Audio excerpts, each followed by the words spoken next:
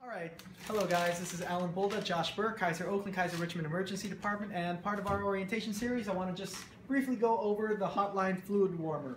Um, now what this is, is just a basic fluid warmer. I know we did a video on the level one pressure infuser.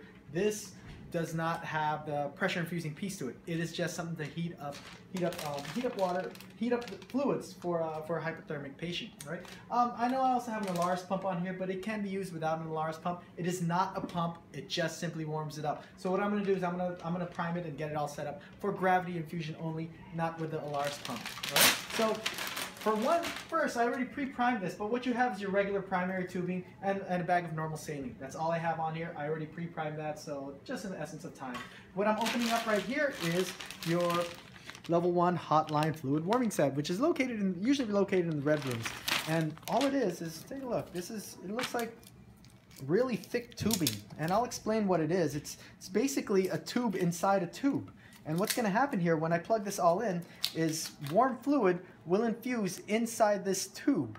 But the inner tube inside here, I know it sounds confusing now because I'm on all these tubes, but this inner tube inside this big thick tube is is is is, is where normal saline is going to be primed and, and, and flowing. So let me show you.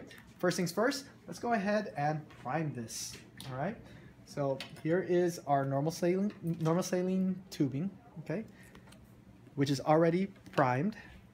Okay, regular Luer lock connection. Great.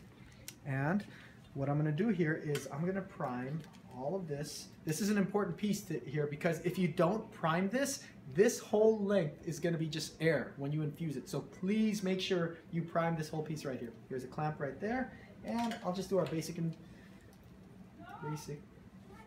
There you go. You can see it flowing. Wait till this end starts dripping out. All I'm doing, you can see it right there, priming all those bubbles. And like I mentioned, this is important. You got to make sure you prime all this before you connect it to the patient. Otherwise, you're just giving them about 20 mLs of air. All right, there you go. Let's clamp it down. All right, next, I'll go ahead and turn this thing on. It is not battery operated. It has to be plugged in. So there's an on switch right over here. You can see there's a reservoir over here for the for the water. We'll, we'll use distilled water. And you can hear it already beeping um, saying that it's not that nothing's plugged in. So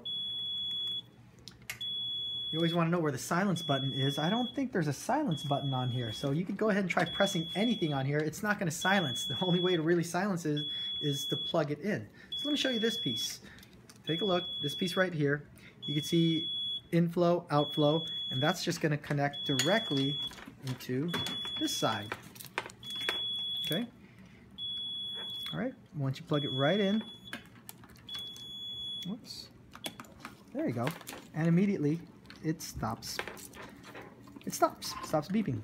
Now, what it will already do is all it will already preset um, it'll already preset it. You can see right now it's all, it's already priming once it's plugged in, it's priming this whole tube, the outer tube, um, with warm with uh, warm water, and the water's coming directly from right over here. All right, warm distilled water, and it's going to prime it to about 37 to 40 degrees. You cannot adjust the temperature. There's no button to adjust the temperature. Same thing with the level one pressure fuser, infuser. It'll just go ahead and prime this all up. Um, and that's basically all it does. So you'll feel in about a minute or so, this is already gonna start warming up. You'll also see the temperature right over here, anywhere between 37 to 41.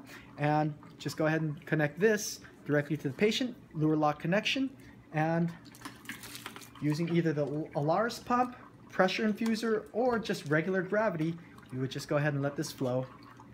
And voila. Ooh, nice and warm. All right. So that is the level one hotline fluid warmer. Once again it is not a pressure infuser. It is not a pump. It is just simply a machine that warms up your fluid for your hypothermic patients. All right. If you have any questions once again this is Alan Bulda Kaiser Oakland Kaiser Oakland Kaiser uh, Richmond Emergency Department Josh Burke Kaiser Oakland if you have any questions at all uh, please feel free to give us a call all right. Thank you, guys.